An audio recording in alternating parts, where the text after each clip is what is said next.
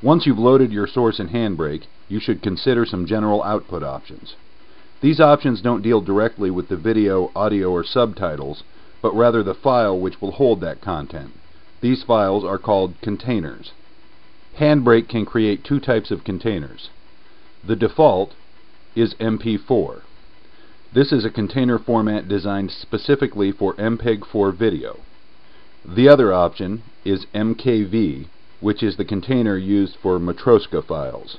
The Matroska format isn't tied to any particular video or audio standard, but is instead intended to be a universal file format for multimedia files. In order to decide which type of file you wish to create, you'll need to consider a number of factors. The primary one should be the device you're using to play it. Both MP4 and MKV files are compatible with computer playback on pretty much any operating system. But devices like DVD and Blu-ray players, portable media players like the iPod, and mobile phones are a different story. Playback of MP4 files is supported by nearly any device capable of playing MPEG-4 video, but only a small number of hardware players support MKV currently. Although MKV support is slowly spreading in the consumer electronics industry, some vendors may never add it to their devices.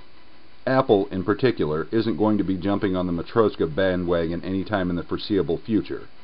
If you want maximum compatibility with hardware players, MP4 is the way to go. If you've determined both MP4 and MKV files are viable options, it's mostly a question of personal preference.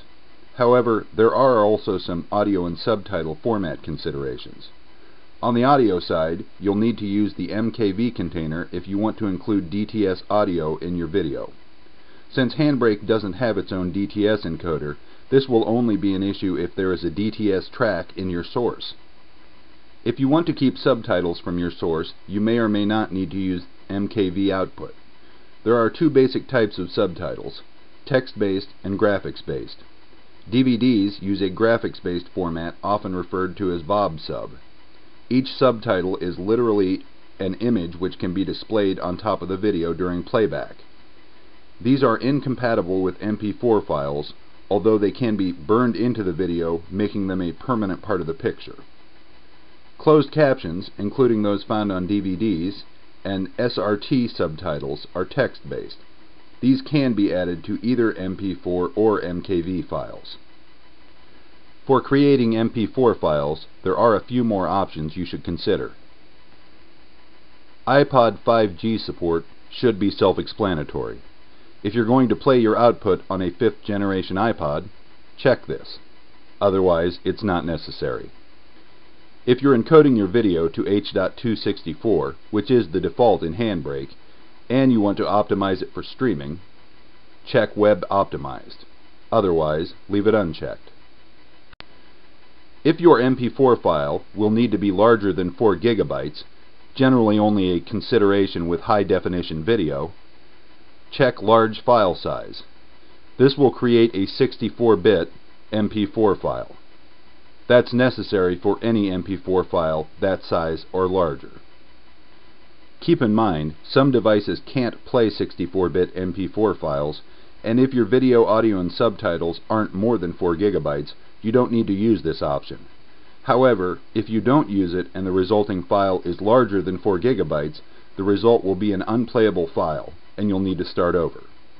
If you don't have automatic file naming enabled, or haven't set a default location to save your files in, you will also need to set the location and name of your file.